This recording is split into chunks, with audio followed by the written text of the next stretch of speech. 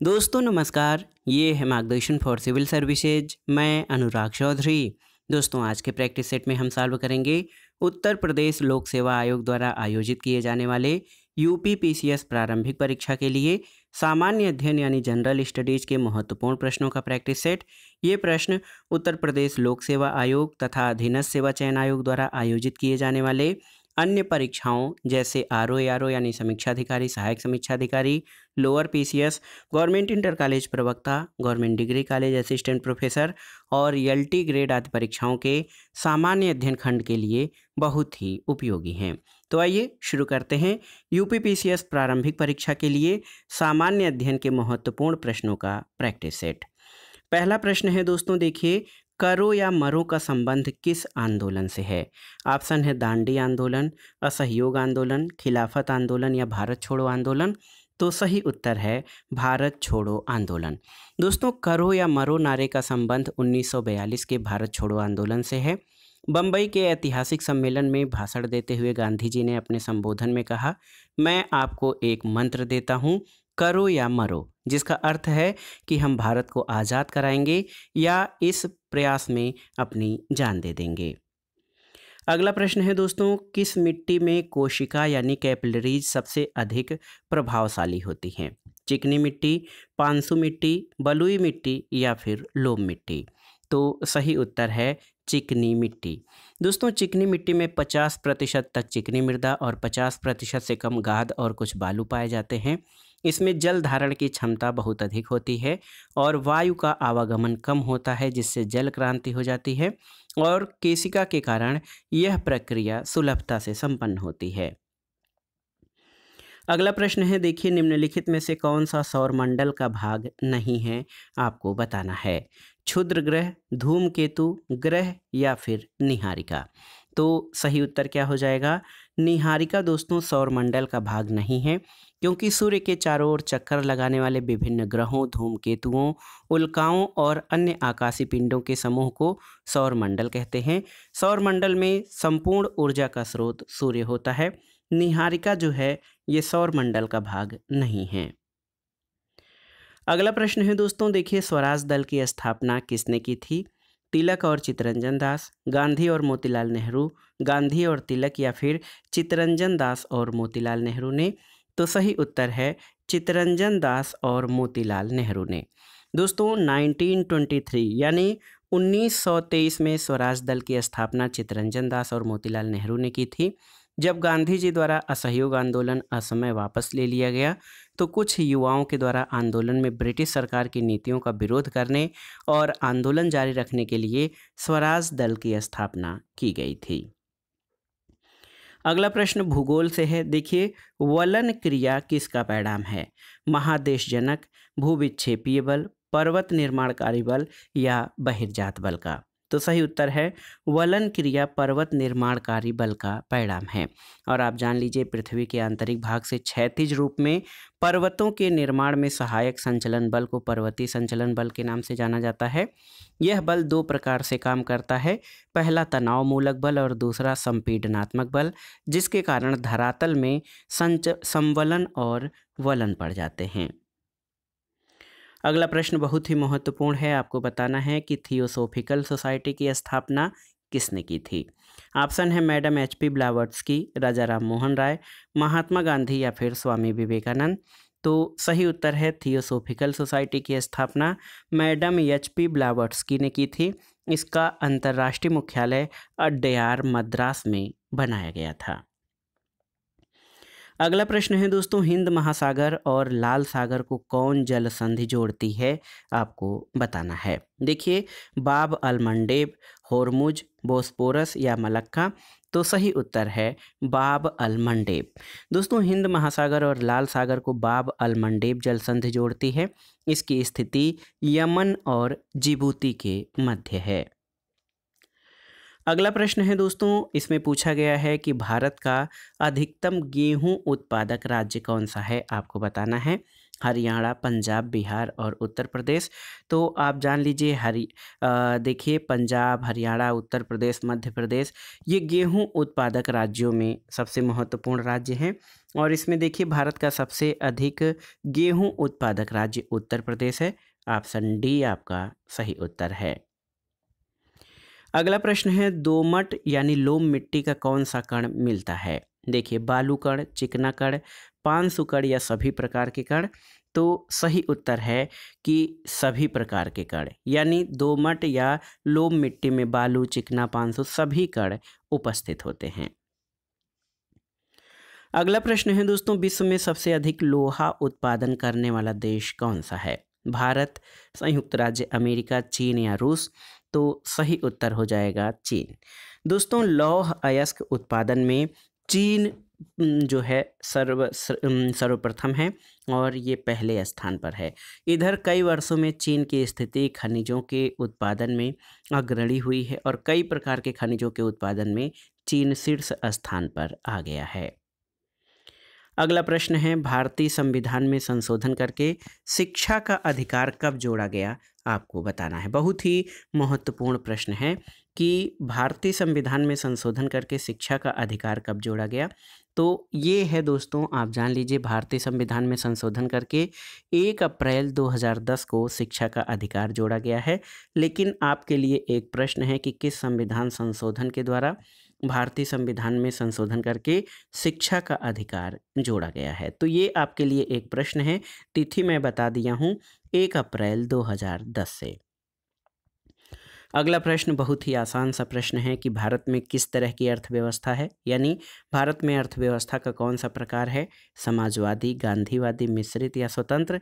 तो सही उत्तर है मिश्रित यानी मिक्स्ड इकॉनमी दोस्तों, जहाँ पर जो है सार्वजनिक और व्यक्तिगत यानी पब्लिक और प्राइवेट दोनों प्रकार के जो आर्थिक क्षेत्र जहाँ पर उपस्थित होते हैं, उसे मिश्रित अर्थव्यवस्था कहा जाता है।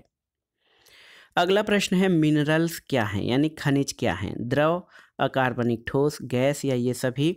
तो अगर हम मिनरल्स का वर्गीकरण करेंगे तो कई प्रकार के खनिज उपस्थित होते हैं। इसमें जो है कार्बनिक ठोस में लौह, अभ्रक एल्यूमिनियम बॉक्साइड आदि।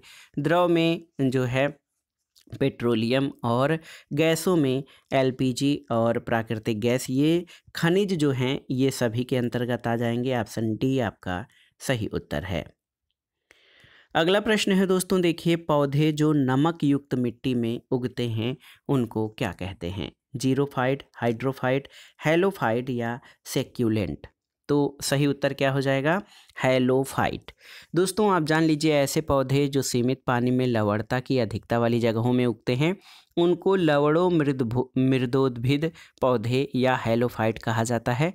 मरुस्थल में उगने वाले पौधों को जीरोफाइट्स कहते हैं और जल में उगने वाले या तैरने वाले पौधों को जलोद्भिद या हाइड्रोफाइट्स कहा जाता है। अगला प्रश्न है दोस्तों, टू जी स्पेक्ट्रम में अक्षर जी किस शब्द के लिए प्रयुक्त होता है? G for global, G for government, G for generation या जी फॉर गूगल। तो two G spectrum, three G spectrum में जो जी शब्द है, वो जनरेशन यानी पीढ़ी के लिए प्रयुक्त होता है। वर्तमान में three G, four G, five G जो है तकनीक लॉन्च कर दी गई है। यानी जो भी अगला फाइव जी, सिक्स जी होता है, ये दोस्तों अपनी पुरानी पीढ़ी से कुछ उन्नत सुविधाएँ रखता है। अगला प्रश्न है, पर्यावरण यानी इन्वायरमेंट किससे बनता है, आपको बताना है। जीवी घटकों से, भू आकृतिक घटकों से, अजैव घटकों से या उपर्युक्त सभी से। तो सही उत्तर ऑप्शन डी, उपरयुक्त सभी से। पर्यावरण एक अविभाज्य समष्टि है और भौतिक, जैविक और सांस्कृतिक तत्वों वाले पर्यावरणिक क्रियाशील तंत्रों से इसकी रचना होती है। इसमें देखिए भौतिक रूप में स्थल, जली व जलवायु, मृदा, शैल, मानव, सांस्कृतिक तत्वों में आर्थिक, सामाजिक और राजनीतिक ये सभी पर्यावरण के अंतर्गत शामिल होते हैं। अगला प्रश्न है दोस्तों, देखिए प्रकाश संश्लेषण, जिसको कि फोटोसिंथेसिस कहा जाता है, ये कहाँ होता है? न्यूक्लियस में माइटोकॉन्ड्रिया में, क्लोरोप्लास्ट में या पर आक्सीसोम में? तो सही उत्तर है क्लोरोप्लास्ट में। दोस्तों, प्रकाश संश्लेषण की क्रिया में हरे पौधे सूर्य के प्रकाश को विकिरण ऊर्जा के रूप में प्राप्त करते हैं और क्लोरोफिल की उपस्थिति में कार्बन डाइऑक्साइड और जल द्वारा भोजन का निर्माण करते हैं। और ये प्रक्रिया क्लोरोप्लास्ट में संपन्न होती है। अगला प्रश्न है दोस्तों, अठारह के विद्रोह से जुड़े कुंवर सिंह कहाँ के राजा थे? हमीरपुर, धीरपुर, जगदीशपुर या रामपुर तो सही उत्तर है जगदीशपुर। कुंवर सिंह अठारह की क्रांति के एक महत्वपूर्ण क्रांतिकारी नेता थे। वे बिहार राज्य में आरा स्थित जगदीशपुर रियासत से संबंधित थे। उन्होंने रियासत के राजस्व प्रबंध के मुद्दे पर अंग्रेज़ों के विरुद्ध युद्ध किया और विद्रोहियों को नेतृत्व प्रदान किया था। अगला प्रश्न है दोस्तों, डूरंड कप किस खेल से संबंधित है? आपको बताना है। फुटबॉल, पोलो, क्रिकेट या हॉकी? तो ये बहुत ही महत्वपूर्ण है। डूरंड कप फुटबॉल से संबंधित है। फुटबॉल का जन्म इंग्लैंड में हुआ है और अट्ठारह में इंग्लैंड में विश्व कप फुटबॉल का क्लब जो है, शेफील्ड फुटबॉल क्लब का गठन हुआ था। भारत में फुटबॉल खेल अंग्रेज़ों के द्वारा लाया गया और भारत का पहला फुटबॉल क्लब डलहौजी क्लब था। विश्व की सबसे बड़ी फुटबॉल संस्था इंटरनेशनल फुटबॉल एसोसिएशन यानी फीफा है, जिसका मुख्यालय पेरिस यानी फ्रांस में स्थित है। अगला प्रश्न है दोस्तों, भारतवर्ष में सबसे पहले दूरभाष यानी टेलीफोन का प्रादुर्भाव किस वर्ष हुआ था? तो उत्तर है अट्ठारह सौ इक्यासी बयासी ऑप्शन डी। भारत में सबसे पहले दूरभाष का प्रादुर्भाव अट्ठारह सौ इक्यासी बयासी में हुआ था।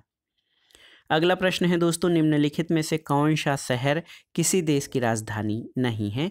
देखिए, केनबरा, सिडनी, वेलिंगटन या रियाद तो सही उत्तर क्या हो जाएगा? देखिए, सिडनी। आप जान लीजिए दोस्तों, सिडनी शहर ऑस्ट्रेलिया के न्यू साउथ वेल्स प्रांत में है। ऑस्ट्रेलिया की राजधानी केनबरा है, सऊदी अरब की राजधानी रियाद और न्यूजीलैंड की बेलिंगटन है। सिडनी जो है, ये ऑस्ट्रेलिया का महत्वपूर्ण शहर है, ये किसी देश की राजधानी नहीं है। अगला प्रश्न है दोस्तों, कौन सा दिवस डायबिटीज़ दिवस या मधुमेह दिवस के रूप में मनाया जाता है? तो मधुमेह के प्रति जागरूकता और लोगों के स्वास्थ्य के प्रति सचेत करने के लिए प्रतिवर्ष चौदह नवंबर। देखिए, ऑप्शन डी आपका सही उत्तर है। चौदह नवंबर को डायबिटीज़ दिवस के रूप में मनाया जाता है। चौदह फरवरी वेलेंटाइन डे, चौदह सितंबर विश्व बंधुत्व और क्षमा याचना दिवस के रूप में मनाया जाता है। अगला प्रश्न है दोस्तों, क्षेत्रफल के क्रम में भारत के बड़े राज्य कौन से हैं?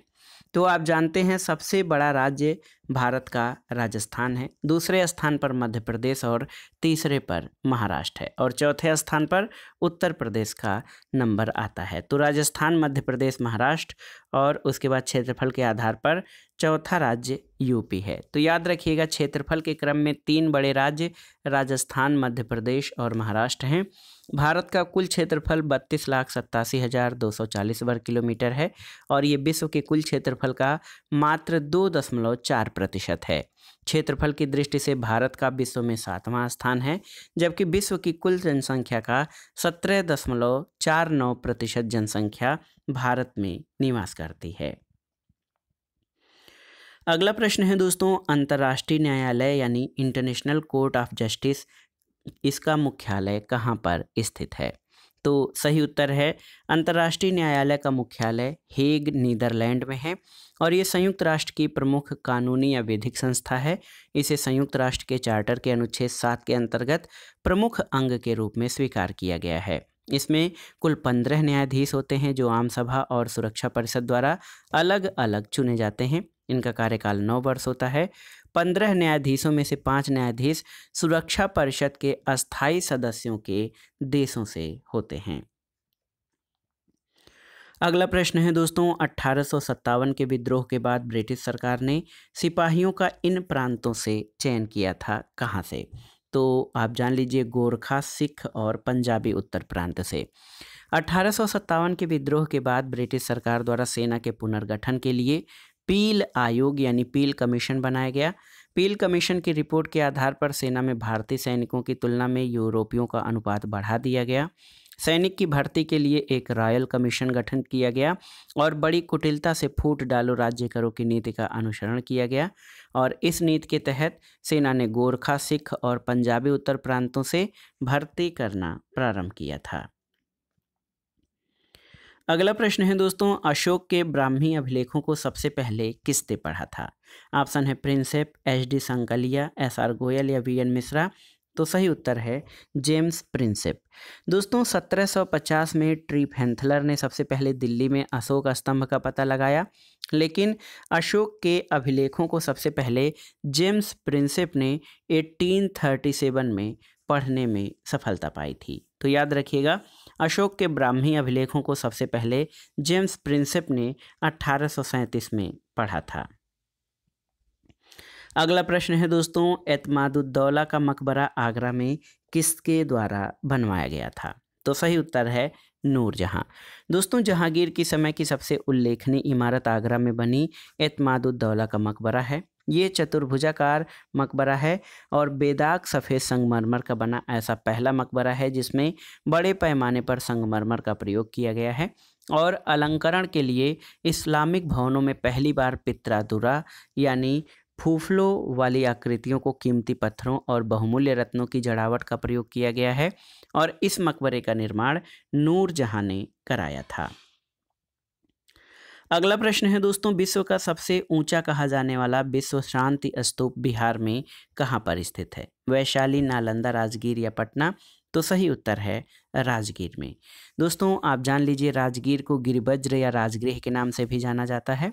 राजगीर महात्मा बुद्ध का निवास रहा है और गृहकूट पर्वत पर उन्होंने अपने समकालीन मगध नरेश बिम्बिसार को बौद्ध धर्म में दीक्षा दी और यहाँ निर्मित जापानी मंदिर विश्व शांति स्तूप के नाम से विख्यात है और बिहार के वैशाली में अवस्थित विश्व शांति स्तूप विश्व का सबसे ऊँचा विश्व शांति स्तूप है। तो सही उत्तर ऑप्शन सी हो जाएगा। अगला प्रश्न है दोस्तों, भारत ट्रेड यूनियन कांग्रेस के पहले अध्यक्ष कौन थे, आपको बताना है। तो भारतीय ट्रेड यूनियन कांग्रेस का आशय अखिल भारतीय ट्रेड यूनियन कांग्रेस से है। ऑप्शन देखिए, बी टी रणदेव सत्यभक्त, लाला लाजपत राय या एन एम जोशी। तो सही उत्तर आपका हो जाएगा। भारतीय ट्रेड यूनियन कांग्रेस के पहले अध्यक्ष लाला लाजपत राय थे और इसकी पहली बैठक 1920 में हुई थी। तो याद रखिएगा, भारतीय ट्रेड यूनियन कांग्रेस के पहले अधिवेशन जो 1920 में आयोजित किया गया था, इसकी अध्यक्षता लाला लाजपत राय के द्वारा की गई थी। अगला प्रश्न और आज के प्रैक्टिस सेट का आखिरी प्रश्न है कि भारत में नारी आंदोलन किसकी प्रेरणा से प्रारंभ हुआ था? देखिए, Padmabai Ranade Annie Besant Sarojini Naidu या ज्योतिबा फूले तो सही उत्तर है पद्माबाई राणा डे। दोस्तों, महादेव गोविंद राणा डे और डॉक्टर आत्माराम पांडुरंग ने बम्बई में प्रार्थना समाज की स्थापना की।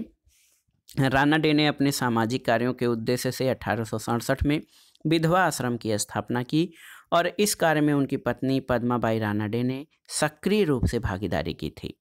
स्त्रियों की परतंत्रता बाल विवाह विधवा विवाह का निषेध और स्त्रियों की अशिक्षा का विरोध किया और इससे प्रेरित होकर अनेक समाज सुधारकों ने नारी आंदोलन को प्रारंभ किया था। तो याद रखिएगा, भारत में नारी आंदोलन पद्माबाई राना डे की प्रेरणा से प्रारंभ हुआ था।